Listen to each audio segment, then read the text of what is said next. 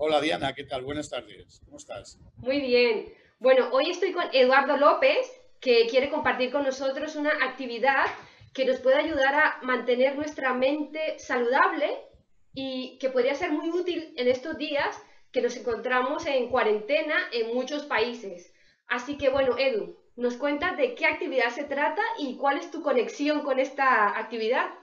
Bueno, Diana, pues sí, efectivamente, me gustaría hablaros del ajedrez, el ajedrez, y además me gustaría determinarlo, eh, decirlo, y yo lo hablo como si fuera un deporte. Para mí es un deporte y además eh, eh, cumple la característica que creo que es el único deporte que puedes practicar desde casa en las mismas condiciones que si estuviéramos jugando en cualquier, en cualquier pabellón, en cualquier sitio, cualquier torneo de cualquier parte del mundo. Vale, ¿Y, cuál es tu conexión con el ajedrez?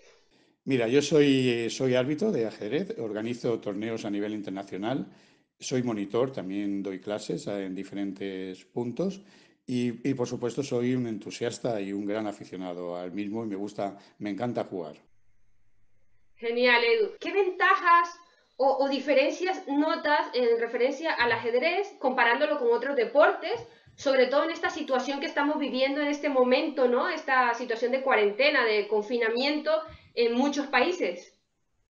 Pues mira, eh, ahora mismo eh, a mí se, me ocurrió, eh, cuando ya empezamos a, empecé a hablar con, compañeros y claro, echábamos mucho de menos una de las cosas, pues en nuestros torneos, que, precisamente yo suelo, habitualmente suelo organizar a nivel local o a nivel nacional, incluso internacional. Entonces, pues se me ocurrió con, la, con, amigos míos de toda España y, amigos cercanos de, pues en concreto de, concreto de países cercanos como Portugal, Francia, Italia, pues organizar torneos online que, prácticamente eh, bueno, pues venimos, mm, podemos realizarlos exactamente igual que si nos juntáramos en cualquier punto los 100 jugadores que venimos jugando y, disfrutar del mismo como, ya te digo, como si estuviéramos eh, uno enfrente de otro. Una maravilla. Sí, sí, es verdad. O sea que esto es una ventaja, ¿no? Que en otros deportes no lo, no lo podemos hacer. Claro, y, claro, imagínate, imagínate cualquier deporte, a mí no se me ocurre ninguno que tengamos esta gran facilidad y de, poder juntarnos con cualquier parte del mundo y poder, eh, y poder eh, disfrutar de, esta actividad o este juego que, por otra parte encima nos, nos, nos acerca, porque el, el momento que estamos jugando eh, normalmente en las, eh, todos los tableros de juego que te aparecen en el ordenador con tu rival, además hay un chat con el cual eh, entablamos una conversación tanto antes como durante como después de celebrado el torneo. Entonces, ahora mismo en estos momentos, pues fíjate, nos, da unas, unas horas prácticamente que, nos olvidamos del gran problema que, tenemos. O sea, aquí, aquí podemos resaltar esta, esta cualidad de, la parte social, ¿no? Del ajedrez. Claro, efectivamente. Ahora mismo, eh, mira, yo, tanto yo como, como, todos los que participamos en estos torneos, eh, normalmente eh, eh, como te digo, formamos parte de, un colectivo y no nos une, dijéramos, eh, simplemente que somos aficionados al ajedrez. Y el único nexo de unión es que a lo mejor pues, pues yo conozco a todos ellos, porque, porque los he invitado yo a jugar este tipo de torneos. Pero tanto yo como todos ellos sabemos puntualmente cómo está ahora mismo el estado eh, de, primera... De, primera mano en todos estos lugares de los que te hablo, además de, bueno, pues de saber eh, perfectamente cómo están todas estas personas y sus familiares y amigos. Maravilloso, Edu. O sea, aparte de compartir esta actividad, eh, puedes informarte, puedes compartir experiencias, ¿no? De cómo lo estamos viviendo en diferentes partes del mundo. O sea que es, es maravilloso, ¿no? Sí, sí, en efecto, así es. Y, ya te digo, es, es una. Ahora mismo eh, ya utilizamos, ya venimos utilizando, porque esto no es de ahora. El, el ajedrez eh, antiguamente, desde, el siglo XVII prácticamente, eh, ya se venía utilizando algo parecido que era el ajedrez por correspondencia. Tú como jugadora eh, lo has oído. Ahora mismo está en desuso, pero prácticamente es lo mismo. Es en, periodos en el que no tenías facilidad para poder jugar con nadie dentro de tu localidad, pues a través de este ajedrez por correspondencia, que es muy parecido a lo que hablamos ahora, con otros medios, pero, pero es lo mismo. Correcto, Edu. Bueno, Edu, a ver, no sé si me puedes explicar un poquito, porque bueno, sé que estos días eh, has tomado la iniciativa de organizar algunos torneos online y entonces, bueno, no sé, cuéntame, ¿cómo, cómo se hace esto? ¿Es fácil? ¿Cómo, cómo? ¿En qué consiste? ¿Cómo se hace? Sí, en realidad no tiene mucho mérito por lo que a mí respecta. Es, es relativamente sencillo. Eh, a través de, hay, hay ahora mismo en, en el mundo muchas plataformas, muchas aplicaciones que se dedican, te dan eh, esta facilidad en la cual cualquier persona, yo mismo, cualquier persona, no hace falta que sea yo, puede organizar un torneo online. Entonces, eh, estos torneos normalmente eh, los puedes realizar eh, a nivel privado o a nivel público. Con lo cual, simplemente publicitas el torneo, se publicita en estas plataformas y puede acceder bien, mm, si es público, todo el que quiera jugar, o si es privado, eh, pues la gente que tenga esta invitación al torneo. Simplemente es acceder a la plataforma, el acceso es muy facilito, ya simplemente es dar eh, dar tu usuario y contraseña y prácticamente ya quedas inscrito en la plataforma y a raíz de aquí pues jugar el torneo sin más.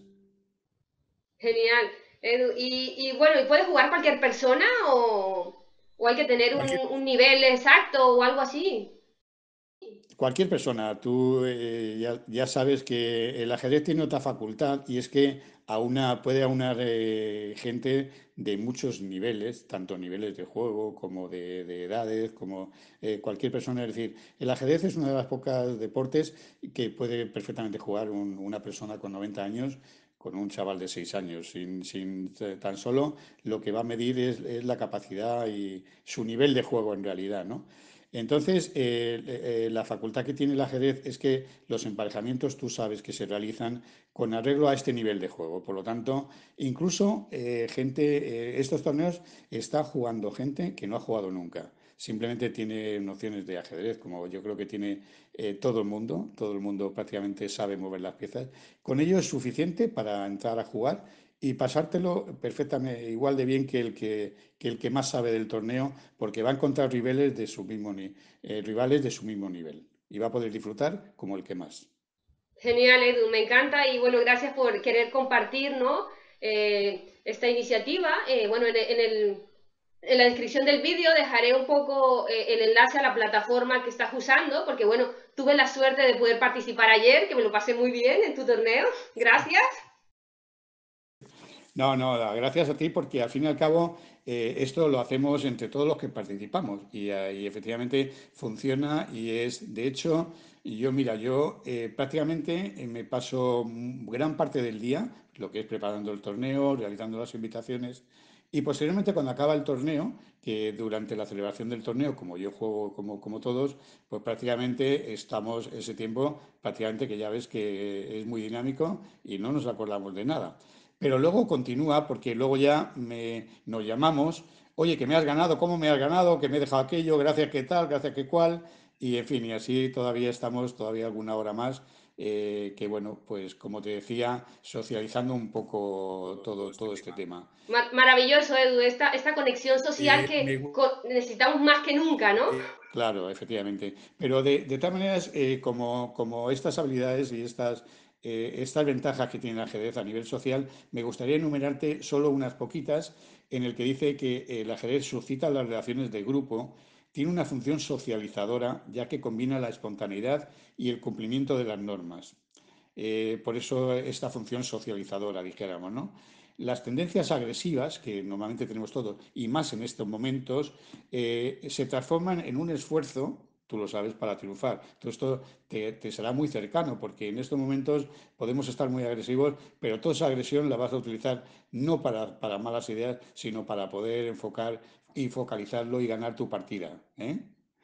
Eh, eh, también fomenta la responsabilidad y el dominio de sí mismo, ¿vale? Porque tienes que tomar una serie de decisiones en unos momentos puntuales y eso te va a hacer focalizarte y, y bueno, y tomar esta responsabilidad tuya, ¿no?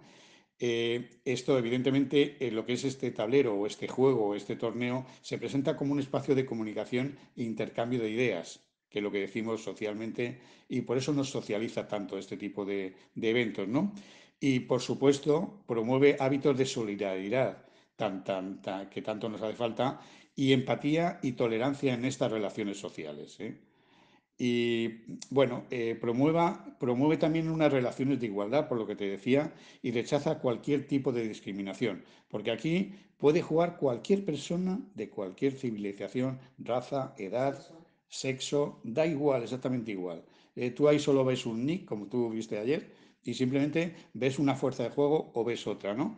Y, ya me gustaría eh, decir, pues bueno, que la política debería aprender del ajedrez en lo que se refiere a planificación y ejecución, ¿eh? que tan, tan necesario y, que tanto está haciendo falta estos días, ¿no? Y por supuesto, este medio de acercamiento social entre personas, culturas, generaciones y civilizaciones, como te decía. Y nada más, no añado nada más. Maravilloso, Edu, me encanta. Gracias, gracias por compartir toda esta información tan interesante y tan importante, ¿no? Que, todos necesitamos realmente. Pues sí, sí, y ya ves que tiene unas cualidades impresionantes para, estos momentos poderlo utilizar. Bueno, genial, Edu. Muchas gracias y bueno, te mando un fuerte abrazo. Igual para ti, Diana. Y, nada, nos vemos en el Adiós, gracias.